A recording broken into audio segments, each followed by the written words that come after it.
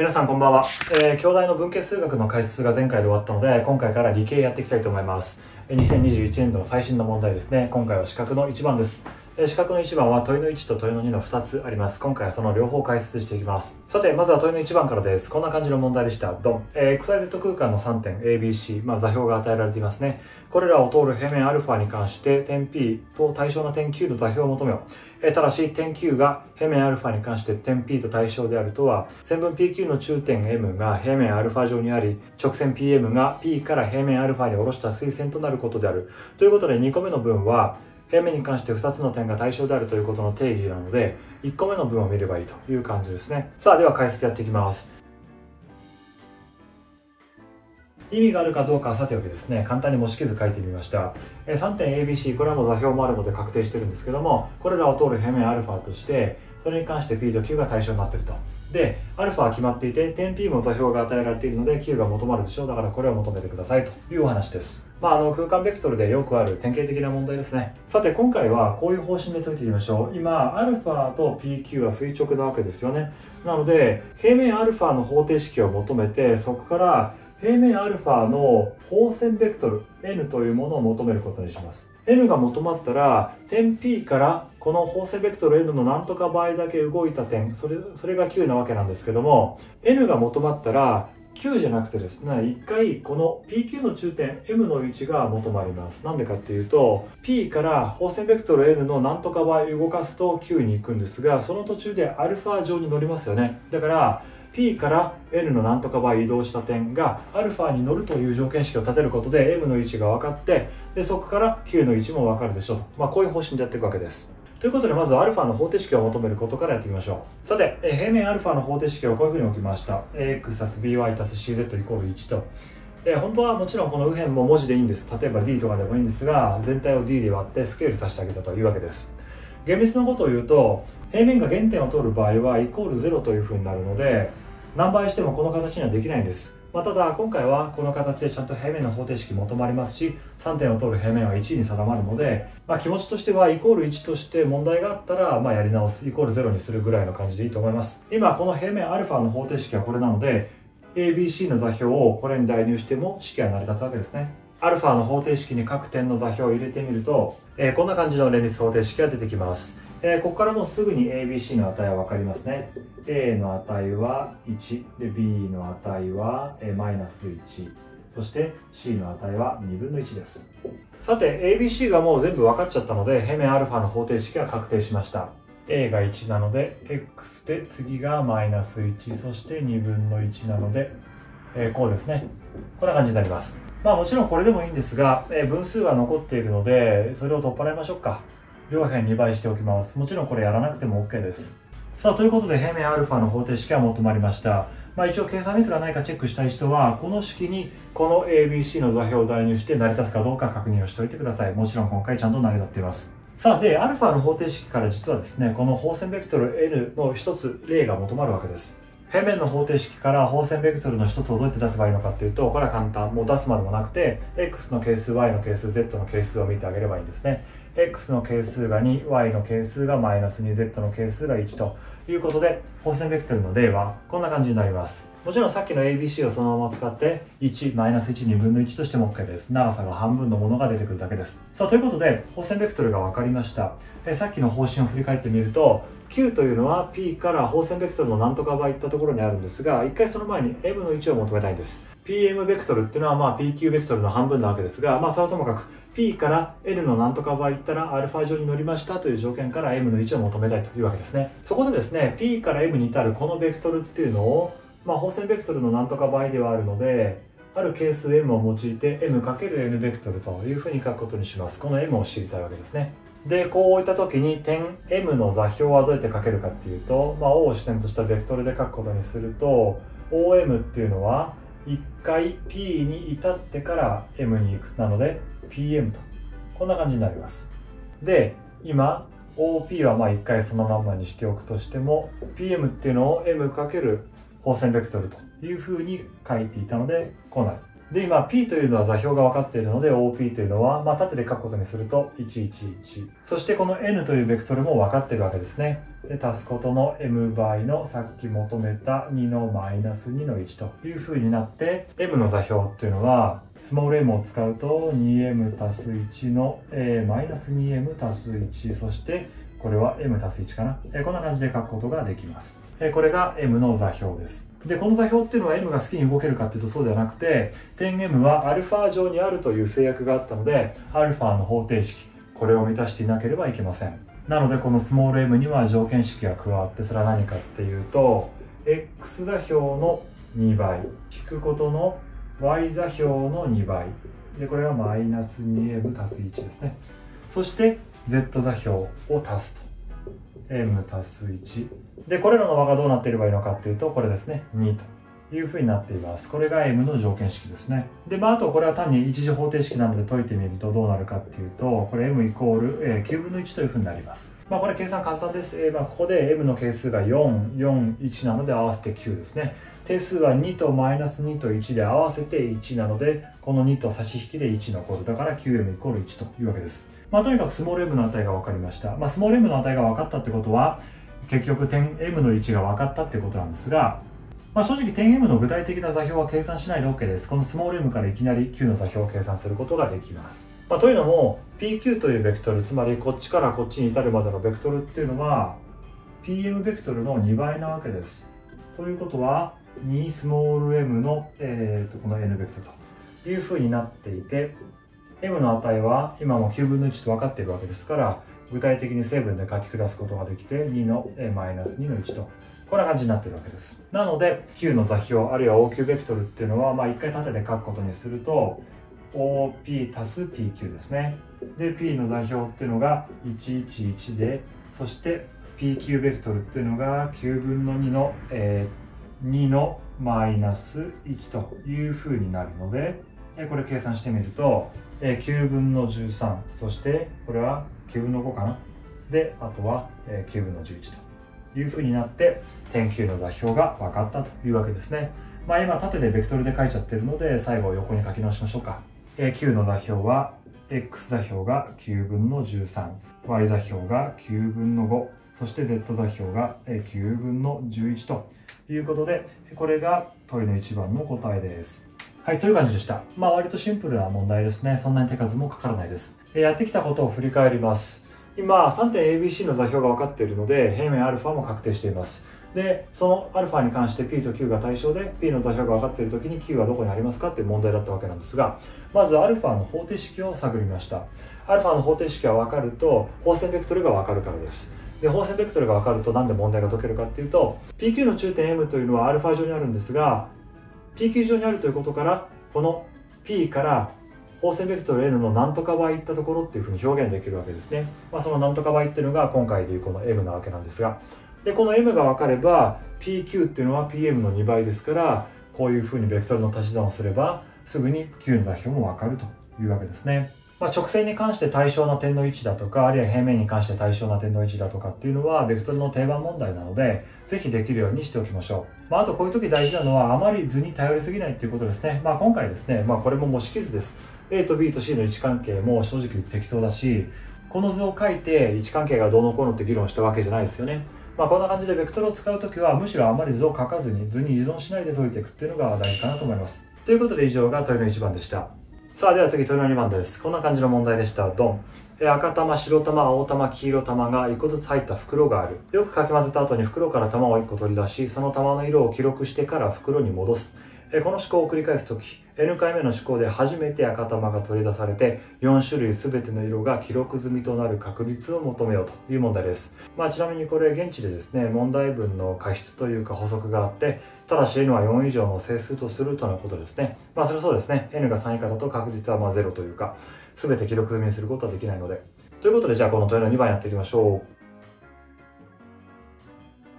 今回聞かれている確率というのは N 回目の試行で初めて赤玉が出てかつその瞬間に4色つまり赤白青黄色が全部記録済みとなるような確率です。文章を読んですぐ分かる通り N 回目は絶対に赤玉じゃなきゃいけません。しかしそれだけでは条件としては不十分です。なぜかっていうと N 回目で初めて赤玉が出る必要があるから。だから N 回目は赤なんですが1回目から N-1 回目までっていうのは全部赤玉じゃないということが分かります。その間に赤玉1回も出ない。ただしじゃあ1回目から N-1 回目で全部赤以外白青黄色が出ればいいのかっていうとそれも間違いです。なんでかっていうと1回目から N-1 回目までの間に白青黄色の3色が全部1回ずつは出尽くしてないと N 回目で赤が出た時に4色全部が記録済みとはならないからです。例えば N が4の時に白青黄色赤みたいな感じで N-1 回目までの間に3色全部が出る必要がある。ということが言えますね。えなので今回求めたい確率っていうのを分かりやすく言葉で言い換えてあげるとこんな感じになります。はい、こんな感じですね。まあ、わかりやすく言ってもちょっと長くなっちゃいましたけども、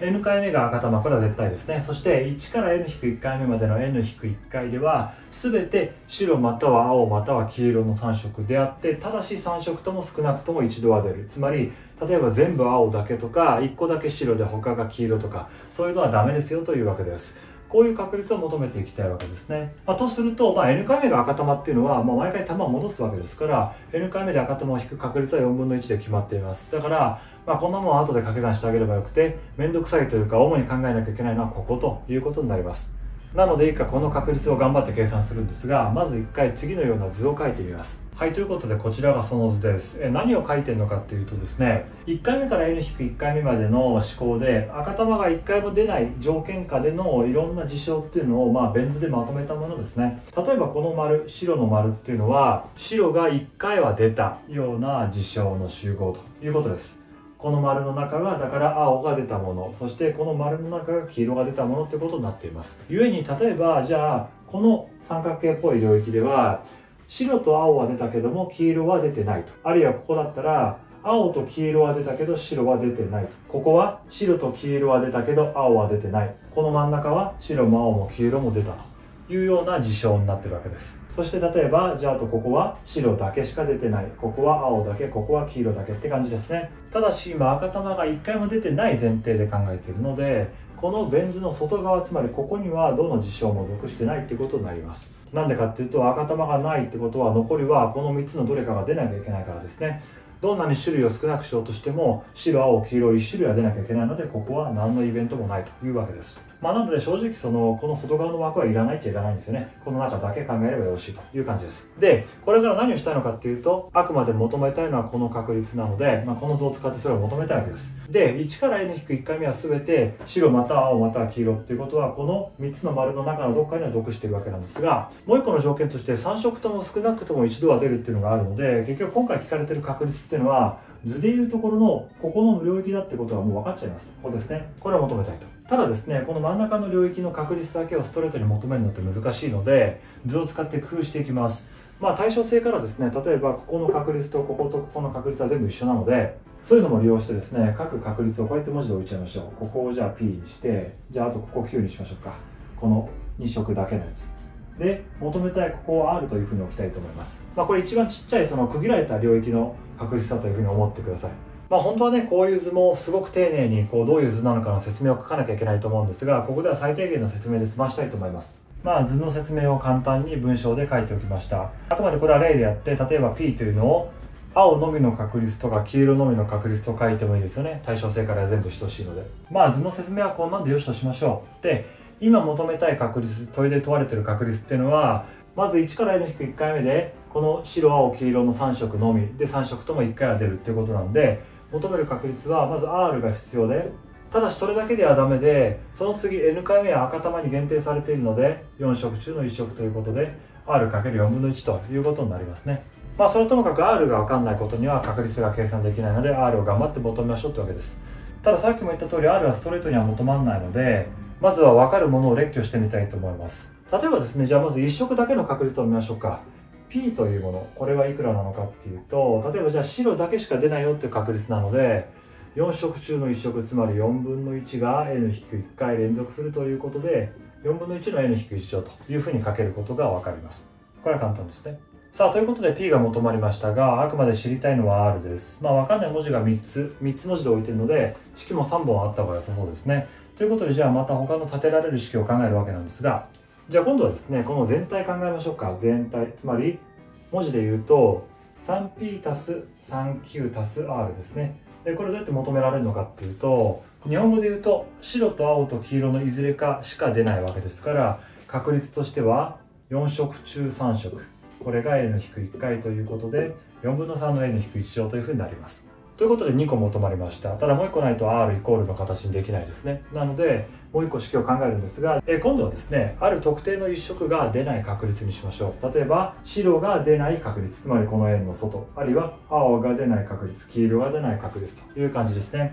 特定の1色が出ない確率っていうのは文字を使って書くと 2p 足す9になります。でこれはどうやって求められるかっていうとこれ簡単ですそもそも今1回目から n-1 回目は赤玉がない場合を考えてるんですがさらに白玉も出ない場合なので青か黄色の2色だけつまり4色中2色が n-1 回ということなのでこういうふうに書くことができるわけですね。はい、ということで3つの確率を計算することができました。ただもちろんこれでゴールじゃないです。知りたいのはあくまでこのど真ん中の R の確率なので余計なものがついてちゃいけないということでこの3つの式で R を作るためにはどうすればいいのかっていうとまず丸2番の左辺にスモール r がありますね。なので丸2番を1倍というかそのまんまにして 3p 足す 3q 足す r というふうにしましょうか。で、あとは p と q が邪魔ですね。で P は後で丸1番で調整できるのでとりあえず Q を丸3番使って調節しましょう丸3番の式でかけることの、えー、マイナス3倍するとマイナス 6P でマイナス 3Q となります。今この2つの合計で R が残って Q が消えて P がマイナス 3P となっちゃってますね。なので P を埋め合わせて 0P にしたいので丸1番の出番。ということで丸1番を3倍してあげると、えー、これ 3P というふうになって合計を取ると R というふうになってくれるのでこれで OK ですね。なので求める確率は R は丸1番の3倍足すことの丸2番の1倍。で足すことの丸3番のマイナス3倍ということになります。さあこれをですね右辺の式を使ってちゃんと書いてあげるとどうなるかっていうと4の n-1 乗分の1でどうなるか括弧の中はまず丸1番の3倍なので3というものがあってそして足すことの丸2番ですね。これがあってなので3の n 引く1乗ですかね。そして引くことの丸3番の3倍なので 3×2 の n 引く1乗と。こんな感じになります。さあでいよいよ最後です。求める確率っていうのは何だったかっていうと1回目から n-1 回目までのこの n-1 回で白青黄色の3色が少なくとも1回ずつ出て赤は出ない。つまりこの R の確率。そして N 回目が赤玉であるような確率。4分の1それらの積なのでさっきも考えた通り4分の 1R になって R はもう分かってるわけです。こうやってね。なのでこれに4分の1をかける。4の n-1 乗だったから4分の1かけて4の n 乗になってそれぞれの項3が入ってるので3でまあくくってあげましょうか。そうすると括弧の中はどうなるかっていうと1で足すことの3の n-2 乗ですね。そして